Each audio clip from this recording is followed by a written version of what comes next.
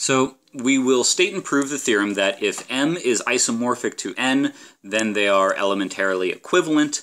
In fact, I will only prove a part of this theorem because the other part comes for free, so to speak, which is namely, I will only prove that m, if any, uh, if m satisfies any sentence, then n also satisfies that sentence, and I will not prove the reverse direction.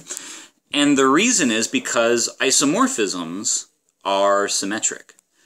And so if I know that I can get this result from stating it in the order m and then n, I could reverse that order and get that any sentence satisfying n also satisfies phi by merely copying the argument, so I won't even do it. Uh, so, um, so I will only assume that we have some isomorphism j and some sentence phi which m satisfies. And I will show, my task is to show, that n also satisfies it. I won't prove the reverse because it comes for free.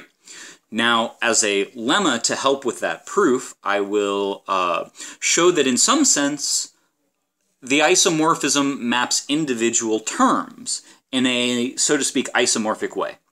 And what I mean by that is that uh, sort of like you can understand isomorphisms in abstract algebra, which, you know, a common perspective is that uh, it tells you when two things are the same up to renaming.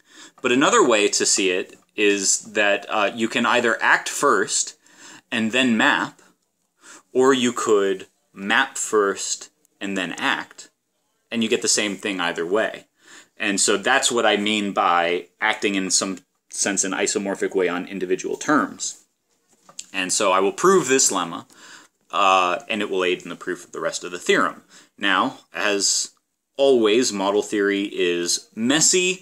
It splinters into cases and proved by induction, so that's what we have here.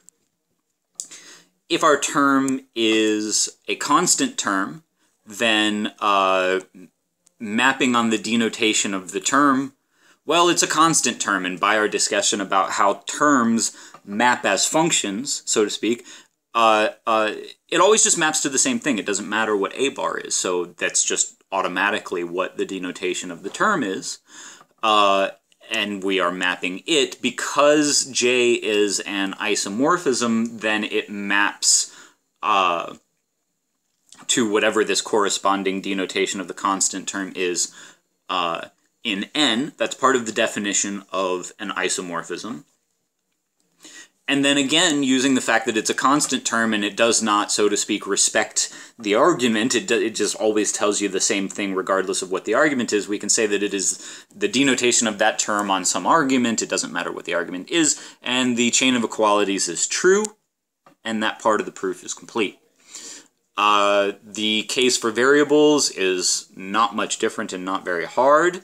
The inductive case for functions goes like this and um, makes use of the fact that, okay, the term uh, denotes a function which maps according to whatever the argument is to each individual term. That's part of, again, the definition of how terms map. And the rest of the proof goes pretty understandably, um, also using just this little switch due to the fact that J is an isomorphism.